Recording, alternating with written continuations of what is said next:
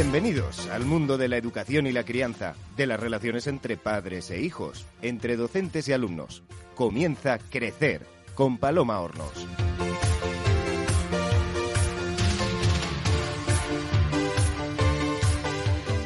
Tomar la decisión de tener un hijo es una de las más trascendentales porque supone asumir, como decía Elizabeth Stone, que tu corazón caminará siempre fuera de tu cuerpo. Tener un bebé es seguramente el acto más hermoso que dos personas pueden realizar y consiste en un cheque en blanco a nombre de la humanidad. Cada bebé es enviado a este mundo con un nuevo mensaje que enviar o una nueva canción que cantar. Vienen a reinventar nuestro mundo porque desde su llegada la vida toma otra forma. Por eso hoy en Crecer vamos a hablar de bebés, de esos pequeños pies que dejan huellas enormes en nuestra vida y sobre todo en nuestros corazones. Y además lo haremos de la mano de nuestros tres invitados. Rafael Caparrós, muy buenos días. Hola, buenos días.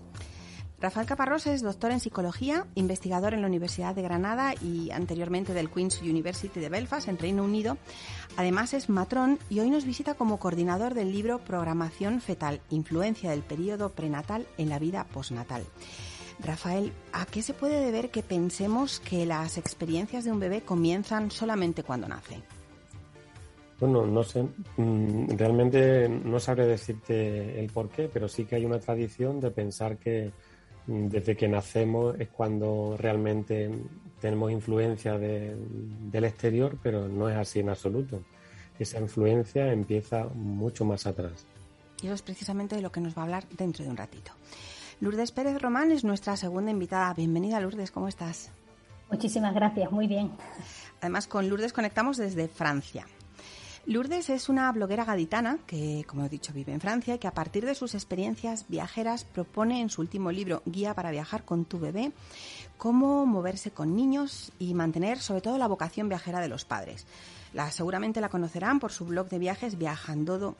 Lourdes, eh, luego nos vas a contar con más detenimiento, pero un bebé, siendo tan chiquitito y que parece que no se entera, ¿disfrutan del viaje y a la vez es posible que los padres puedan disfrutarlo? Porque parece que se hace un mundo eso de viajar con un bebé, uff, qué pereza. A ver, a pesar de lo que se pueda pensar, es una etapa buenísima para viajar con ellos, porque a diferencia de cuando van creciendo, ellos se dejan llevar y de entrada es cuestión simplemente de adaptar el viaje a ciertos ritmos y por supuesto, por supuesto que sí se enteran del viaje y de todos esos nuevos estímulos que el mismo brinda. Y por último, contamos con Elisa Ramos Gil. Muy buenos días, Elisa, ¿cómo estás? Muy buenos días. Elisa Ramos es psicóloga infanto-juvenil especializada en atención temprana, máster en neuropsicología, con quien conectamos desde Cádiz. Además, hoy nuestro programa tiene aires del sur porque Elisa es gaditana, eh, bueno, Elisa está en Cádiz, Lourdes es gaditana aunque está en Francia y Rafael está en Granada, me has dicho, ¿verdad? Eso es. Hoy purititos Aires del Sur. Soy Paloma Hornos y les doy a ustedes que nos escuchan mi bienvenida al programa de hoy. Mary Mason decía que un bebé es algo que llevas dentro de ti nueve meses, en tus brazos tres años y en tu corazón hasta que te mueres.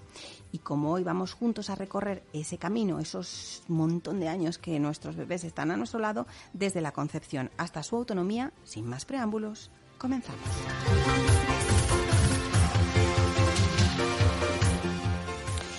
El ambiente al que está expuesto el bebé dentro del vientre de su madre influye en su salud, en las enfermedades médicas o, mejor dicho, físicas y mentales que en un futuro ese niño puede padecer.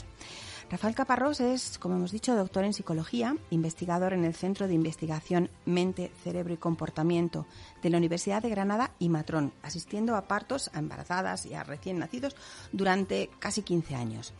Esa doble vertiente de psicólogo y matrón le ha convertido en un referente en las investigaciones sobre psicología perinatal. Rafael, cuando hablamos del ambiente al que está expuesto el feto, ¿nos referimos a lo que ocurre dentro del vientre o también a lo que existe fuera? O sea, todo lo que está expuesta realmente la madre gestante. Eh, a, las, a, las dos, a los dos ambientes, obviamente todo lo que está fuera del vientre materno, lo que, a lo que está expuesto la madre es a lo que está expuesto ese, ese bebé en desarrollo. O sea, que, no, que su cuerpo, el cuerpo de la madre en sí no es ninguna barrera de nada, sino que todo está interconectado. Claro, de siempre se había pensado que, bueno, que, el útero, la placenta, mm. creaba una, una, barrera, de hecho es así, pero esa barrera tiene sus límites y, cuando se sobrepasan, pues afecta el entorno a, ese bebé. La frase típica que, todas las que hemos estado embarazadas hemos escuchado, o bueno, y quien está en contacto con una embarazada utiliza de alguna forma, es que las embarazadas se tienen que cuidar más y tener más tranquilidad. ¿Es real? Mm, tienen que tener tranquilidad, no diría más tranquilidad, porque todos necesitamos tranquilidad, pero sí que necesita un entorno Mm, tranquilo y adecuado tanto para su propia salud, la de la propia embarazada, como la de, la de su bebé. Y, ese afán que, sobre todo, las precisamente mm, un poco obligados por la, por la vida que todos llevamos, ¿no? La vida que, que, hemos organizado alrededor de nosotros. Muchas mujeres tienen un cierto afán por, por hacer la misma vida, por mantener las mismas rutinas, por estar expuestos a los mismos eh, factores estresantes. ¿Eso tiene consecuencias? Puede, puede, puede tenerlas, puede tenerlas mm, en altos niveles de estrés durante el embarazo. Está demostrado que tiene una consecuencia, un impacto negativo en el desarrollo tanto físico como el neurodesarrollo de ese bebé que se está gestando en ese momento. En la obra Programación Fetal, Ambiente de Crecimiento y Desarrollo Prenatal, de la que Rafael Caparrós es coordinador, nos presenta una figura muy interesante, que son los programadores fetales. De hecho, es el, digamos, el título de su, de su obra. Explícanos, Rafael, qué son los programadores fetales. Sí, bueno, pues esto está basado en unos estudios que se originaron por un epidemiólogo en el siglo XX y que tienen su origen en, una pandemia, no en la que estamos viviendo, sino en la pandemia de, gripe de 1918. Mm, este epidemiólogo se dio cuenta que aquellas madres que estuvieron expuestas a esa pandemia de gripe eh, que ocurrió en 1918, sus bebés eh, tenían una mayor probabilidad de desarrollar ciertas enfermedades, no solo en la infancia, sino también en la edad adulta, por ejemplo, esos individuos tenían una mayor probabilidad de morir de manera prematura de infarto agudo de miocardio cuando eran adultos. Es decir, que esa influencia de, ese entorno altamente estresante por esa pandemia tuvo sus consecuencias como 40, 50, 60 años más tarde. Y es cuando surgió la idea de que todo está demasiado, más que demasiado, mucho más conectado de lo que todos pensamos. Claro, claro, eso es. Eh, además, mm, iría más allá y es que eh, esos bebés que estuvieron expuestos a esa pandemia de gripe, por ejemplo, mm, los efectos no recaían solo en ellos, sino también en la descendencia de, esos bebés. Es decir, que cuando esos bebés eh, en el, caso que fuera una mujer, quedaba embarazada y, a su, y a su vez tenía un bebé, mm, la influencia, es decir, eh, cómo había vivido su abuela ese momento, le iba a influir a generaciones futuras. Sobre los nietos. Eso es, sobre los nietos. Algo muy curioso que me ha llamado la atención y hace, eh, volvemos a, eso de que las embarazadas se tienen que cuidar más y alimentarse mejor por, que comen para dos, ese tipo de cosas, ¿no? Me ha llamado la atención que en vuestro libro planteáis que la dieta de la madre durante el embarazo puede influir en que ese niño llegue a padecer obesidad con el tiempo. ¿A qué se debe? Es. como que se programaran esos, eh, la genética del bebé para hacer ese acopio de comida en caso de que falte? O cómo, funcionaría?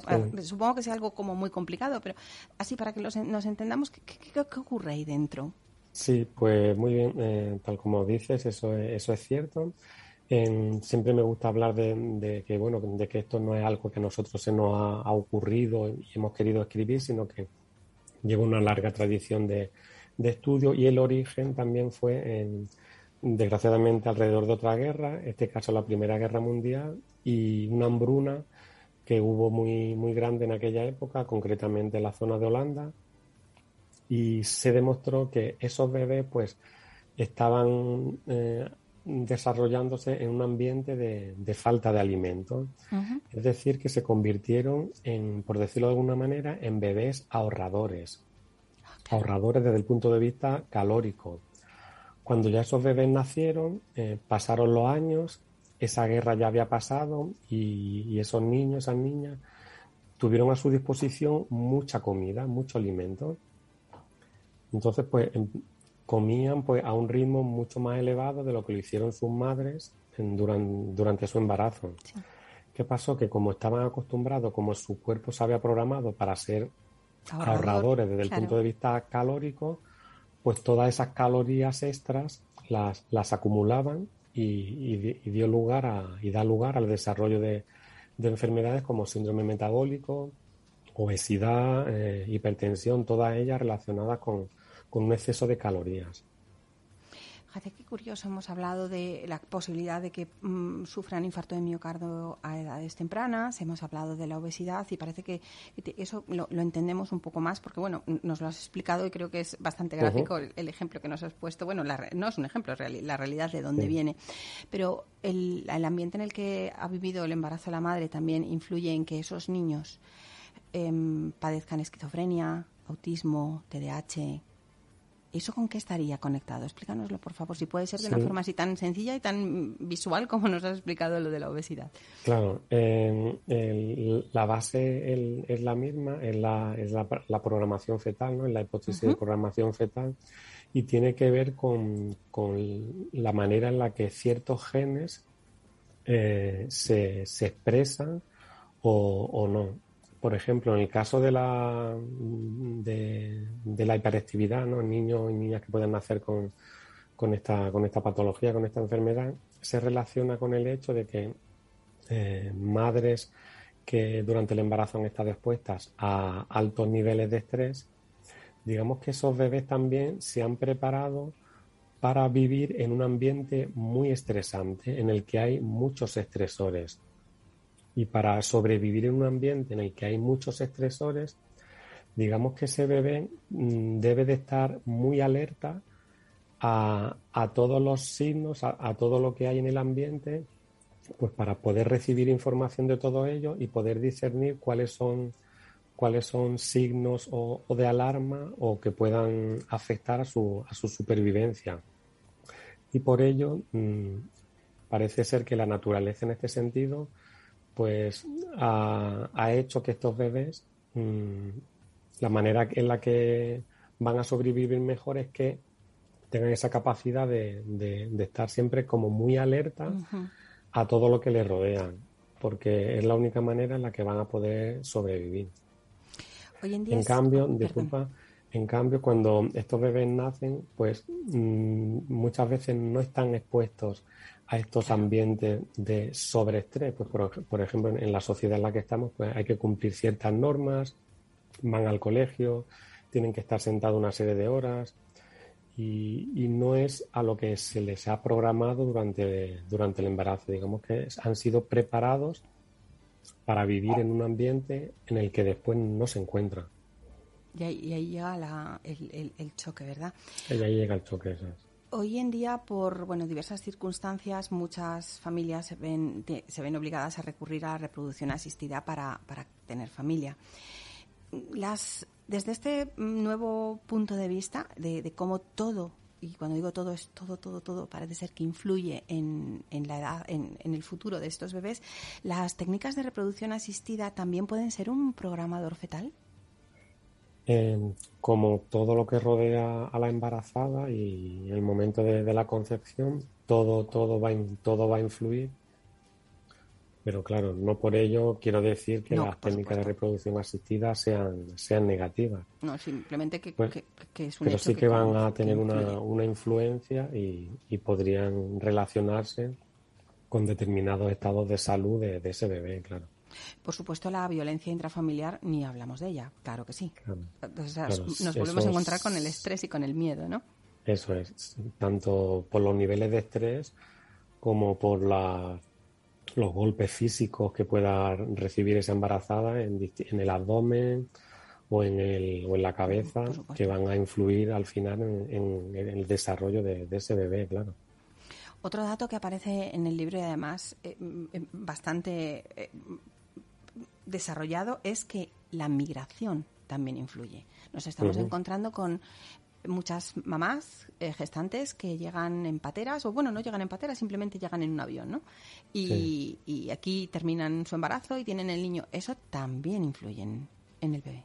Sí. ¿De qué forma? El hecho de ser inmigrante eh, es una situación muy estresante para, esa mujer que se encuentra en un ambiente que no es el suyo y obviamente le va a, transmitir esos niveles de estrés al bebé a través de la hormona cortisol y eso puede tener un, impacto. Nosotros pues publicamos hace poco un estudio en que estaba basado en, creo recordar, setenta y tantas mil embarazadas, en la que sí que pudimos demostrar cómo altos niveles de estrés durante el embarazo pues eh, se relacionaba con una mayor probabilidad de esas madres de tener, por ejemplo, bebés con autismo, con obesidad o con cólico del lactante.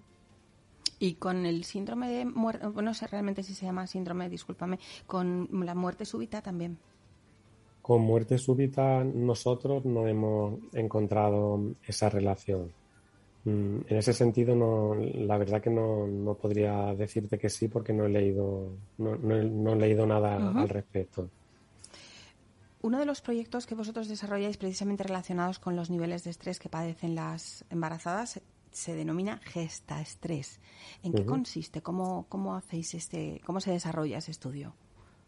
Sí, bueno, el estudio Gesta Estrés es un estudio que, en el que ya lleva muchos años en marcha, desde el año 2012. Y lo que se ha venido haciendo en este estudio es hacer un seguimiento a las embarazadas desde el primer trimestre de embarazo y se le ha evaluado en el primer trimestre, en el segundo, en el tercero y en el posparto. Lo que se ha hecho es una evaluación psicológica, se le ha aplicado una serie de, cuestionarios psicológicos y además hemos utilizado la medida de cortisol en pelo, en, el cabello de las madres y también del recién nacido. Ahí hemos mm, detectado una hormona, como he dicho, la hormona cortisol, que es la que mm, se denomina hormona del estrés, y hemos podido saber el estrés al que ha estado expuesto esa persona mm, los tres meses anteriores. Es decir, si ahora cada uno de nosotros nos tomáramos una muestra de, cabello, de pelo de la cabeza, podríamos saber cuáles son los niveles de cortisol, los niveles de estrés que hemos tenido en los tres meses previos. Em, una vez que los bebés habían nacido, le tomábamos también muestra de cortisol al bebé y podíamos saber el nivel de estrés que han tenido Ah, antes de nacer, en el tercer trimestre de embarazo, y se le ha hecho un seguimiento a esos recién nacidos mm, a lo largo de los primeros años de vida para evaluar el neurodesarrollo de, de esos bebés, pues para ver cómo se desarrolla en su lenguaje a nivel motriz, a nivel cognitivo. Y lo que hemos hecho, no me enrollo más, eh, es mm, ver mm, de qué manera el estrés de la embarazada ha influido en el neurodesarrollo del bebé después del nacimiento. Estamos hablando de todo lo que tiene que ver durante la gestación, pero una vez el bebé nace, muchas madres se encuentran con algo o ocurre una lo que se conoce y de hecho se diagnostica como tal la depresión posparto. ¿Puede afectar a cualquiera o hay unos factores de riesgo que, determinan que una mujer sí y otra mujer no padezca depresión posparto? Eh, pues podría afectar a, cualquiera, pero sí que hay algunos marcadores, algunos signos de alarma, podríamos llamar, ya durante el embarazo, que podrían hacer que podrían ponernos como en alerta de que esa mujer podría o, va a tener una mayor probabilidad de desarrollar depresión postparto. Mm, sí que me gustaría dejar claro que aunque se le llame depresión postparto, mm, sí que es verdad que la sintomatología aparece en el postparto, pero ya hay, como decía, hay signos de alarma, como por ejemplo tener mayor nivel de cortisol en pelo durante el embarazo o mayor nivel de estrés psicológico durante el embarazo. Eh, puede ser un indicativo de que esa mujer con una mayor probabilidad va a tener depresión en el posparto. No hablamos solamente de las mamás, sino que los padres también tienen depresión posparto. Eso es. Sí, eso es algo que, bueno, que en, nuestro entorno es como muy novedoso. De hecho, pudimos publicar un artículo relacionado con ese tema, pero que en otros países, con los investigadores de otros países con los que tengo mucha relación, es algo que ya, que ya tiene como mucho recorrido el, estudiar la depresión postparto en, en la pareja, en el hombre también. Con, imagino, bueno, eso Elisa nos va a hablar dentro de un ratito de, cómo influye los estados emocionales en, un bebé que está siendo criado. Muchísimas gracias, Rafael Caparrós. Programación fetal, ambiente de crecimiento y desarrollo perinatal. Gracias por habernos venido a hablar de, estos misterios del embarazo. Muchísimas gracias. Mil gracias, muchísimas gracias a vosotros. Desde niños, a través del juego simbólico, cuando jugamos a los papás o a los médicos o a polis y cacos, desarrollamos la capacidad de ponernos en lugar del otro. Vamos creciendo y sentimos una necesidad de ayudar al otro, de protegerlo, y ese impulso nos lleva a dar consejos habitualmente no pedidos. Nuestra siguiente invitada es Elisa Ramos, psicóloga infanto-juvenil especializada en atención temprana y máster en neuropsicología. Desde su consulta online está en contacto directo con las familias y a quienes ofrece eh, asesoramiento e intervención. Elisa, ¿hasta qué punto pueden llegar a afectar esos consejos bien intencionados que, eh, que les damos a algunos padres primerizos? Pues la verdad que pueden afectar mucho porque al final te, tú eres padre y con tu pareja haces creas un proyecto educativo y de crianza y de repente viene alguien y, te puede dar un consejo bien intencionado, pero tus creencias se pueden llegar a tambalear, ¿no? Porque, bueno, al final muchos consejos vienen más impuestos que propuestos, ¿no? Entonces es normal que incluso padres vengan muy inseguros, ¿no? Oye, esto lo estoy haciendo bien. Mm, es, es como tú quieres hacerlo, sí, pues, pues ya está, ¿no? Porque porque tenemos que tener bien claro qué es lo que queremos y cómo queremos criar a nuestros hijos. Eh, echándonos así un poco mm, piedra sobre nuestro propio tejado, ¿podrías darnos algún consejo para aconsejadores? pues bueno, yo soy madre de dos hijas muy pequeñas, entonces a mí me, dan muchos consejos en mi día a día. Yo este verano en la playa he recibido infinidad de consejos, ¿no? Claro. Entonces, mm, a mí yo digo, mira, vamos a responder con humor, ¿no? A, a esos consejos ¿no? De sí, sí, eh, ya lo haré, ¿no? O, ah, muy bien, pero es el humor. Yo creo que tenemos que intentar que eso no nos cale y no nos tambalee y, responder con humor. Hace un instante Rafael Caparrós nos ha hablado sobre la depresión posparto, tanto la de la madre como la de la padre, la del padre, perdón. Mm, Elisa, ¿cómo influye una, la depresión posparto en el desarrollo del niño? El niño ya ha nacido pues al final eh, es, un, es un cuidado que, no recibe del todo, con calidad, ¿no? Porque al final incluso la madre o el padre eh, necesita, necesita un, cuidado. Entonces al final eh, el niño mm, está como un poco ahí en medio. entonces al final el, el, cariño y el amor que se le tiene que dar, pues no, no lo recibe del todo. muchas, muchas madres y padres se sienten muy culpables, ¿no? Pero lo que yo recomiendo siempre es el padre que esté bien eh, psicológicamente es el que tiene que, estar ahí con el bebé y la madre o el padre que no esté tan bien, pues que reciba el cuidado y la intervención. Porque hablas de, cariño, de, de, cariño, de amor, pero realmente algo que un poco se le niega, no, no, no por gusto, sino por, por las propias circunstancias de la depresión, son directamente cuidados. No, no estás como para digamos, si me permitís, aguantar, ¿no? Que si llora, que si las mm. tomas, que si no sé qué. Eso ha de ser muy complicado para una madre, enfrentarse a, por un lado, la conciencia de tengo que atenderle y por otro lado es que no puedo. Totalmente. Incluso para una madre que no sufre de depresión postparto, ya el, el, embarazo, el postparto y todo ya cuesta, es muy complicado. Imagínate tú tener pues ese, una depresión postparto, ¿no? Entonces, claro, eh, se te hace un mundo. Es como imposible cuidar cuando tú no estás bien. Hablamos de, depresión postparto, pero también está la ansiedad perinatal. Muchas madres esa ansiedad porque porque sea un trastorno o esa necesidad ese de decir es que se me está haciendo todo me permite la expresión bola porque no puedo entonces em, hay veces que me deprimo hay veces que me que, caigo en ansiedad no es algo que es habitual encontrarse Sí, porque al final hay, hay mucho miedo y hay muy poco autocuidado. Yo, todo padre que llega y con un niño y me dice estoy mal, estoy, te estás cuidando, eh, te estás teniendo aunque sea un poco de tiempo, un tiempo digo 10 minutos, si es lo que necesitas al día para ti, ya sea darte una ducha tranquila o darte un paseo, ¿no? Estás teniendo tiempo para ti porque claro, necesitas descansar y recargar pilas y tener un estado emocional bueno para poder cuidar al otro, porque si no es que no, no es posible.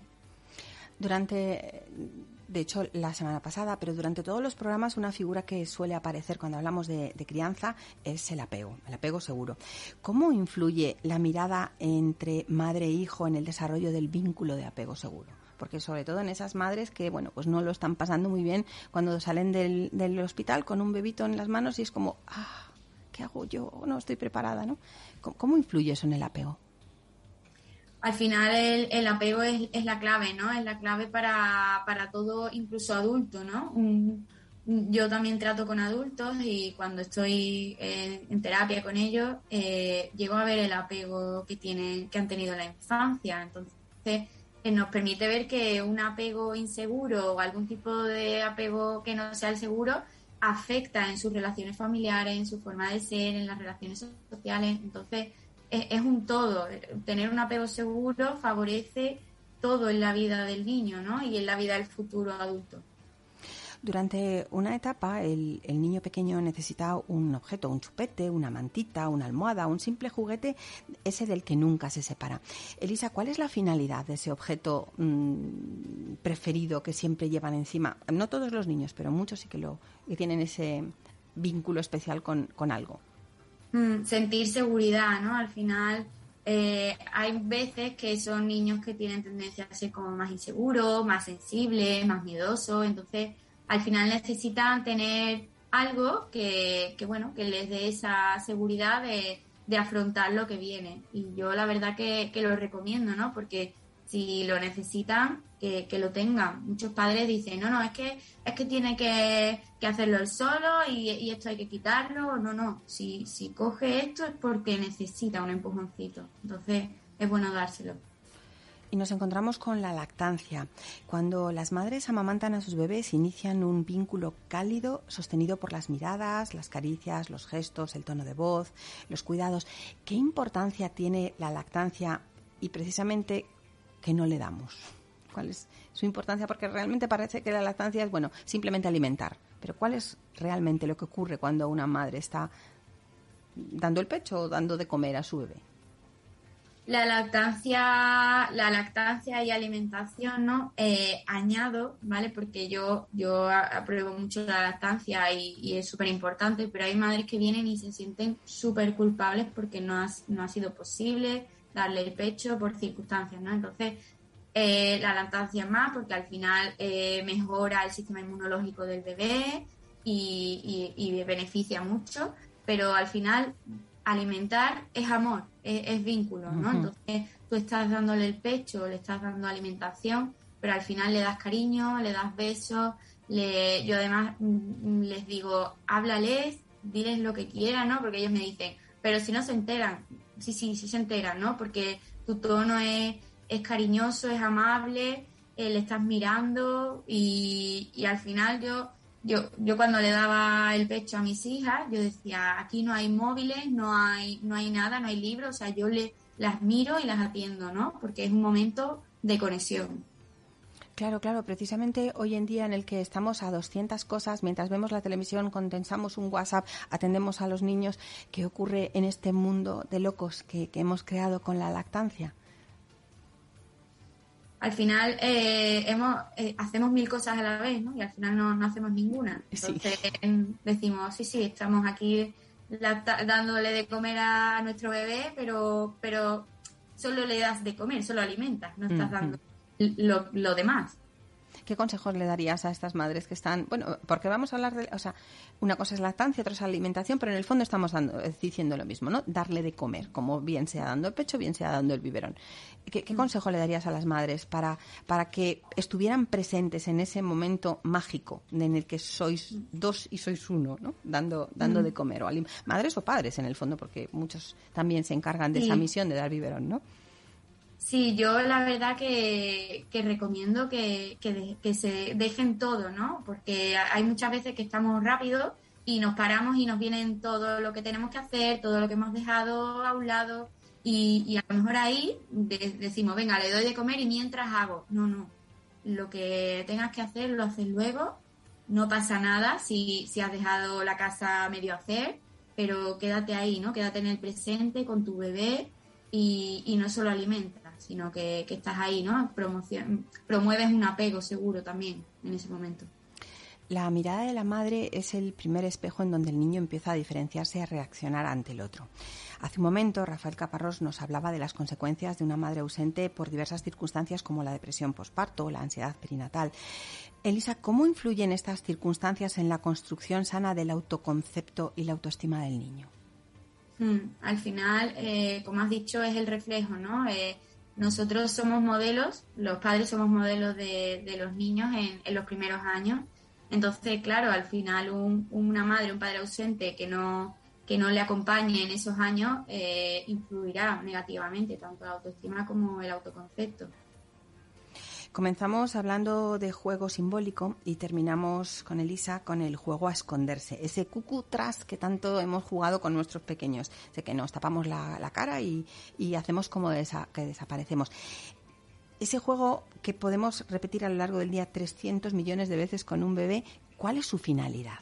Porque muchas veces dices, ah, es que eso son tonterías, porque desde la idea de que no se enteran, ¿verdad? Pero, ¿qué mm. hay detrás de un juego tan sencillo como ese? Al final ahí, eh, de nuevo, ¿no? Promueves el vínculo, promueves el apego y, y bueno, y también están las neuronas espejo, que son una parte de, nuestro cerebro, que, hace que, el niño, el bebé, aprenda ¿no? a, repetir. Y, entonces va promoviendo eso, el, el, que vaya repitiendo el cucu tras él, que se ría, que, que te busque también, ¿no? Para, para interaccionar. Es un juego muy social. Estamos hablando de bebés ya que, ya han nacido, pero retomando un poco de lo que venimos, que es lo que Rafael Caparrón nos estaba hablando. ¿Qué consejos le podrías dar desde, desde tu expertise a, a las embarazadas para que se tomaran su embarazo como algo bueno que no van a volver a vivir. Son nueve meses que, se acaban y se acaban. Y cada embarazo será distinto. Bueno, de hecho es distinto. Quienes hemos estado embarazadas sabemos que es así. ¿Qué consejo le darías para ese buscar ese bienestar mental y emocional por el que a Rafael Caparrós aboga? Por, bueno, la propia ciencia, ¿no? Nos demuestra que es tan, tan necesario. ¿Qué consejos le darías? Pues al final lo, lo primero es que todo ese repertorio de miedos que, te acompañan durante el embarazo, creo que es muy importante que, lo trabajen porque mm, amplía, ¿no? hace que afecte la ansiedad, el estrés y, y luego tomarse, al final nos hacemos ideas muy rígidas de cómo tenemos que ser como madres, de cómo tiene que ser, tenemos que tener un embarazo perfecto, ¿no? Entonces esto afecta mucho también porque aumenta nuestros niveles de estrés. Eh, los embarazos son como son, porque nos podemos hacer, yo me acuerdo que me quedé embarazada y yo dije, uy, mi embarazo va a ser maravilloso y fue muy duro en cuanto a síntomas, entonces ahí tuve que, soltar ¿no? el ideal de embarazada y, entonces adaptarte, adaptarte a lo que hay, hacer lo que puedas dentro de tus posibilidades y, y quitar eso, gestionar esos miedos ¿no? que, te, que te acompañan durante esos nueve meses el bienestar de nuestros pequeños no tiene solo que ver con los cuidados, sino también con la interacción que, con ellos mantenemos. Rafael Caparrós, mm, como matrón, eh, ¿cuál es el mayor miedo con el que os soléis encontrar cuando una mamá está a punto de, ver la carita de su niño? ¿Qué, es el principal, la principal zozobra que se les plantea? Pues bueno, mm, yo diría que, que es la... A veces se sienten que no van a ser capaces de, cuidar de ese bebé todo lo bien que, quisieran. Yo diría que, que, esa es la mayor preocupación. Y eso podría enlazar con esa figura que acabamos de ver con Elisa hace un instante, que es la ansiedad mm, perinatal. ¿E, e, ¿Enlaza con eso o son dos mm, temas totalmente distintos? Sí, desde el punto de vista un poco más como científico, ¿no? Por decirlo de alguna manera, sí, que hay sí que hay relación. Digamos que hay un tipo de estrés durante el embarazo que se llama el, estrés específico del embarazo y hace referencia al estrés que tienen las embarazadas en relación al, propio embarazo. Pues una mujer embarazada puede estar estresada pues porque a lo mejor mm, discute mucho con su pareja o no llega a final de mes eso es otro tipo de estresor, pero el estrés específico del embarazo hace referencia a, a, ese, a esos estresores que le producen a la embarazada en relación concretamente al embarazo. Pues va a cambiar mi relación con mi pareja, tengo miedo de que el bebé nazca de manera prematura, pero una de las mayores preocupaciones esa es no ser, el sentirse incapaz de cuidar al bebé todo lo bien que, que quisieran y muy relacionado, como decías, con la ansiedad. Elisa nos ha dado unas pequeñas pautas para, para, vivir el embarazo con, de una forma a nivel, digamos, mental o emocional mucho más estable. Rafael, ¿qué nos, qué, qué, cuatro, bueno, cuatro, los que tú quieras, consejos nos podrías dar para esas mamás que están viviendo el embarazo para que todo vaya lo mejor que pueda ir? Sí, eh, bueno, mm, sería difícil, ¿no? De dar consejos válidos para, para todo el mundo. Hmm, por supuesto. Y, lo que no diría nunca es eh, no estresaros, porque eso automáticamente va a producir que se, que se estrese, pero sí pensar que, que la especie humana pues lleva muchos años de evolución y hemos llegado hasta ahora, hasta el siglo XXI, mm, eh, en, en, buena, en buena posición, diría yo y que la naturaleza, al fin y al cabo, mm, tiene sus medios, sus maneras de hacer que todo, que todo vaya bien.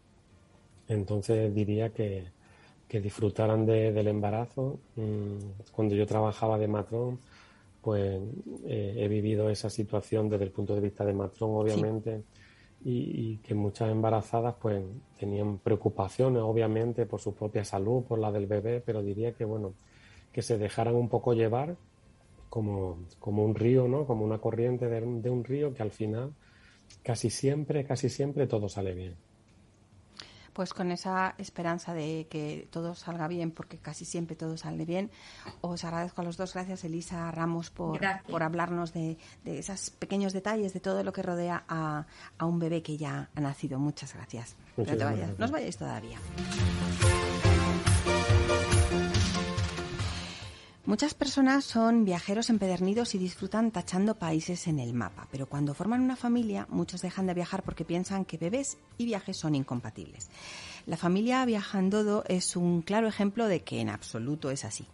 Lourdes y Vicente en 2017 recibieron la noticia de que iban a ser papás y les surgió seguramente la misma duda. ¿Se acabó el viajar? Lourdes, vamos a empezar por el principio. ¿Cómo nace vuestro proyecto Viajandodo? Eh, pues a ver, eh, decidimos crear viajando.com como un espacio donde tuviéramos la oportunidad de, compartir nuestras experiencias de viaje en familia y al mismo tiempo, por supuesto, pues ayudar eh, a otros muchos padres dando consejos y recomendaciones de viaje con los más pequeños de la casa para que exactamente tuvieran la, la facilidad de alguna manera de, de ver que es más que compatible y que sí se puede viajar en familia desde el primer momento. Entonces, viaja, eh, viajandodo.com nace cuando nace tu hija Abril. No, lo creé aproximadamente cuando ya tenía un año. Ah, o sea, pero vamos, em, antes no existía este proyecto, sino que el proyecto es Viajes en Familia. Exactamente. Sois los autores de la primera guía multimedia para viajar con un bebé. ¿Qué os llevó a decidir pasar de leer libros de viajes a escribir uno para viajar con bebés? Yo cuando me quedé, me quedé embarazada de pura sorpresa, no fue para nada planificado. Y como comentaste antes, pues toda una serie de dudas se nos vinieron, ¿no? Eh, sobre si iba a ser posible pues seguir viajando al mismo ritmo de, de antes, ¿no? Y cuando nos pusimos a intentar recopilar un poco de información sobre este tema, nos dimos cuenta de que era bastante escasa o muy subjetiva, que no resolvía forzosamente todas nuestras dudas. Y aún así, decidimos no renunciar al hecho de, viajar y empezamos con nuestra pequeña pues desde que tenía dos meses y medio, ¿no? Eh, a medida que realizábamos cada viaje, pues nos dimos cuenta de que realmente sí hacía falta un libro donde se pudiera documentar todas esas dudas que son normales que nos surjan a los padres a la hora de viajar con, en, una etapa tan temprana de nuestros hijos, ¿no? Como es la etapa bebé de 0 a 2 años. Así a modo de resumen, ¿qué podemos encontrar en esa guía? En esa guía, de hecho, la hemos dividido por capítulos, ¿no? Eh, se inicia ya desde, bueno, viajando desde, desde el embarazo, ¿no? Desde la tripita. De hecho, yo ahora estoy embarazada. Mm, felicidades. De nuevo, muchísimas gracias. Ya de siete meses, acabamos de, volver de Dublín hace unos días. y empezamos exactamente pues dando una serie de consejos y recomendaciones ya para viajar estando embarazada.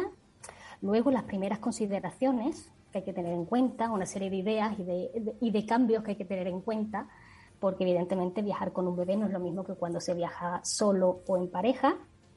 Y ya luego el resto eh, son capítulos que tratan sobre la documentación, la salud en el viaje, eh, los destinos, los alojamientos. Es decir, hemos intentado facilitar la integración de todos esos elementos en el libro para que cuando los padres terminen de leerlo digan, oye, no es tan complicado, ¿eh? se puede viajar con un bebé.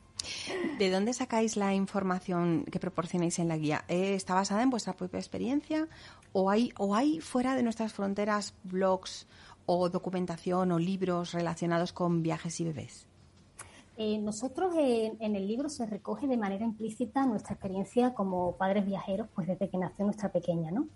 Pero al mismo tiempo somos conscientes de que hay ciertos elementos de que un padre o una madre solo se queda tranquilo cuando es un profesional de la salud, infantil en este caso, cuando te, dice las cosas. Entonces, junto exactamente con esa experiencia propia, hemos querido eh, contar en el libro con la aportación de pediatras, de psicólogos infantiles, de neuropsicólogos infantiles y otros profesionales y otros expertos viajeros, exactamente para una vez más, tranquilizar a los padres sobre, sobre esas preocupaciones ¿no? que pueden surgir. Desde tu experiencia, hay una edad, bueno, experiencia tuya y por supuesto la de tus lectores, que estoy segura de que te, mandan su, su, feedback en alguna forma. ¿Hay alguna ideal, edad ideal para que los niños aprovechen la experiencia viajera? Es una pregunta que nos hacen muy a menudo y creo que una vez más es un factor bastante subjetivo. Nosotros empezamos a viajar con nuestra pequeña cuando tenía dos meses y medio y con cuatro y medio, por ejemplo, eh, cruzamos el Atlántico y nos fuimos a Nueva York y fue una experiencia, bueno, que no, que no olvidaremos seguro, ¿no?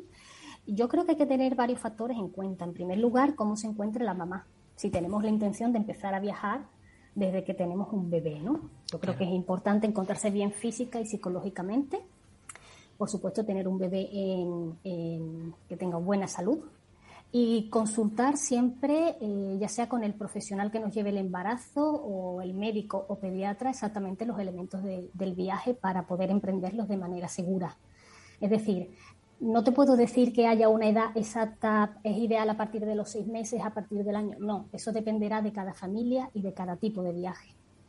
Comentas que gracias a los niños puedes tener mucho más contacto e interacción con las personas que viven en los lugares que visitas. Completamente. Nosotros hemos tenido experiencias maravillosas eh, y una mejor, incluso una mejor acogida en calidad de viajeros por el simple hecho de, ir en familia e ir con un bebé, ¿no? Una, un bonito recuerdo que tenemos en este sentido fue cuando fuimos a Marruecos ella fue la protagonista completamente del viaje, recibiendo buenos besos y abrazos, todo esto antes de la pandemia, por supuesto, durante eh, todo momento y, y, recibiendo halagos, es decir, mm, realmente nos sentimos muy bien acogidos por el factor, gracias a este factor familiar, ¿no? Y, y la verdad que son una vez más experiencias que nos olvidan parece que da muchísima pereza decir, uff, el carrito, ir, ir por, haciendo turismo empujando un carrito, pero se pueden ver muchas cosas también empujando un carrito, ¿verdad? Hay que saber organizarse y hay que aprender a organizarse. Y esto, contra más se viaja con ellos, más uno sabe lo que al final, eh, que que cuáles accesorios perdón, eh, son indispensables y cuáles no, ¿no? Eh, es posible, hay muchos, las ciudades, por ejemplo, se pueden recorrer fácilmente con un carrito, y nosotros también lo que aconsejamos es siempre llevar algún tipo de sistema de porteo ergonómico eh, para exactamente no, encontrar barreras arquitectónicas a la hora de, viajar, eh, de descubrir, perdón, ciertos, ciertos lugares con ellos, ¿no? Lo que ocurre es que el ritmo simplemente es otro, ¿verdad?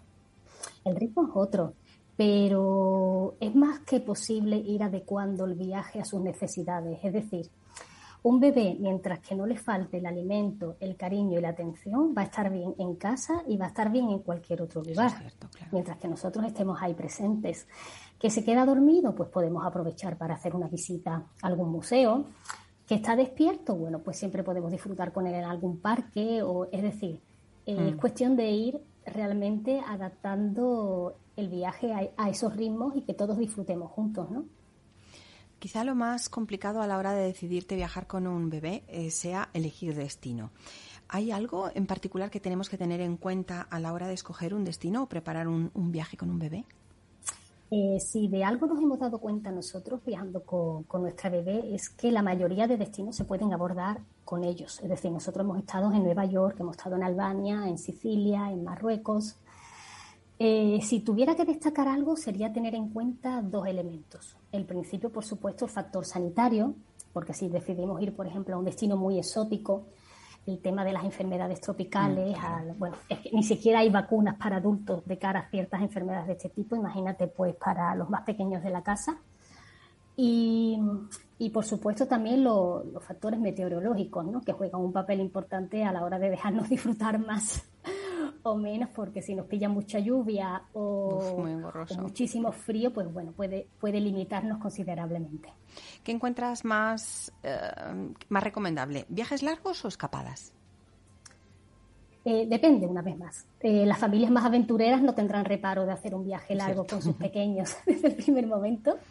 Y para aquellos que les dé respeto o tengan demasiadas dudas e inseguridades, cosas que encuentro completamente normal.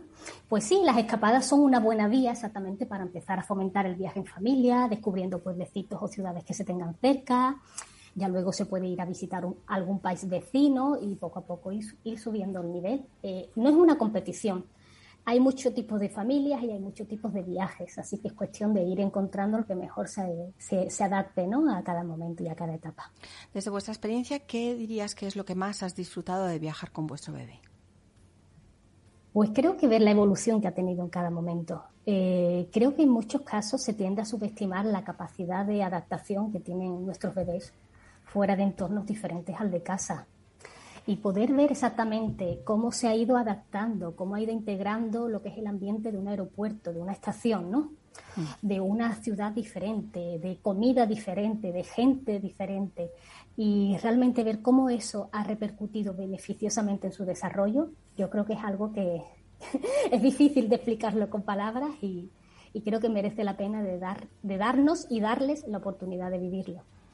Ahora te planteas un nuevo proyecto que es este embarazo, con lo cual ahora no solamente estáis viajando con un bebé, sino que estáis viajando con un bebé embarazada. Exactamente. Complica. Dime, perdón. Bueno, ya Abril ya no es un bebé. No, eso exactamente, ya va para cuatro añitos. Bueno, pero aún así siendo, sigue siendo bastante, bastante bebote, ¿no? Es pequeña aún. Eh, eh, ¿Cuál es la dificultad añadida? ¿En qué se complica todo más eh, juntando esos dos factores, el bebé con el embarazo?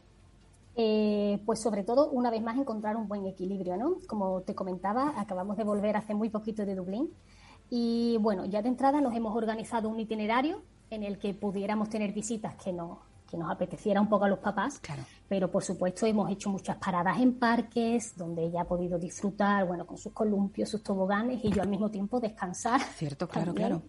Y hacer todas las pausas necesarias que me, que me pedía el cuerpo. La organización es clave cuando se viaja en familia y especialmente con los más pequeños de la casa, pero todo es posible. Siempre, por supuesto, que estemos bien y, y el embarazo vaya bien y estemos en buena salud. Rafael Caparrós nos hablaba hace un instante también de, cómo afecta la, migración en, un embarazo. ¿Nos podrías darle, bueno, a Lourdes, por supuesto, si me permites, pero a nuestros oyentes, mm, al margen eh, del estrés, ¿hay algún elemento que tendríamos que tener en cuenta a la hora de viajar embarazadas? Eh, no, porque bueno, el viaje que se hace por placer no es un viaje por obligación y entonces ahí no va a haber nivel de estrés, todo lo contrario. Y además si se viaja de la manera en la que está proponiendo Lourdes, pues todo suena muy bien. No, no, veo, no veo que haya estrés ninguno en, ese momento. Porque la clave de todo, mm, permíteme Rafael, eh, mm, es en, los niveles de estrés durante el embarazo, ¿correcto? Claro, bueno, los niveles de estrés son uno de los factores que van a influir en, el desarrollo del bebé. Hay otros muchos factores, pero en relación a, la inmigración, como me comentaba, mm, sí que es el estrés el que parece ser eh, que va a ser uno de los, de los determinantes de, de esa afectación fetal. Desde la perspectiva de la psicología perinatal, ¿de qué se beneficia una familia que viaja?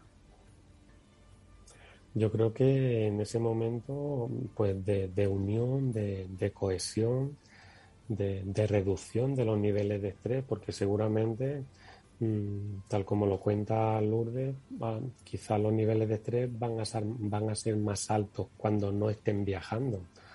Claro. Eh, Cierto. Eh, entonces, pues creo que ahí los beneficios van a ser múltiples.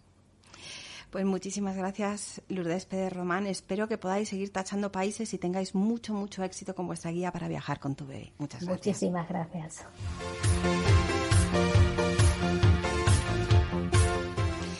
El nacimiento de un bebé es frecuentemente causa de alegrías y la promesa de una nueva etapa en familia. Con la llegada de un bebé nos preparamos con emoción y para acompañarle en su crecimiento y exploración del mundo. Nuestro mundo cambia y todo toma el color del nuevo integrante. En el programa de hoy hemos descubierto de la mano de Rafael Caparrós y de todos los investigadores cuyos descubrimientos recoge la obra Programación Fetal, la importancia que tiene el ambiente en el que se gesta un bebé y cómo la salud, tanto física como mental o emocional de la madre, y de la madre en particular, o de ambos progenitores, influye en su propia salud. Hemos descubierto que vivimos en un mundo de prisas, algo que ya sabíamos, pero nos lo ha constatado, pero que es importante dedicarles tiempo y cariño a nuestros pequeños como nos invita a hacer Elisa Ramos. Y que pese a que nuestro mundo cambie cuando nace un niño, cambia para bien siempre y cuando estemos preparados para este nuevo reto. Y viajar es algo que con organización y voluntad se puede conseguir. Así nos lo ha mostrado Lourdes Pérez Román con su guía para viajar con su bebé. Gracias Rafael Caparrós, Lourdes Pérez y Elisa Ramos por acompañarnos esta mañana. Y, como no, gracias a ustedes que nos escuchan fieles cada semana. Bebés, quienes somos madres y padres, claro que creemos en el amor a primera vista. Hasta aquí el programa de hoy. Recuerden, tenemos una nueva cita la semana que viene. Estrenamos juntos los domingos a las 9 de la mañana en Crecer con Paloma Horno.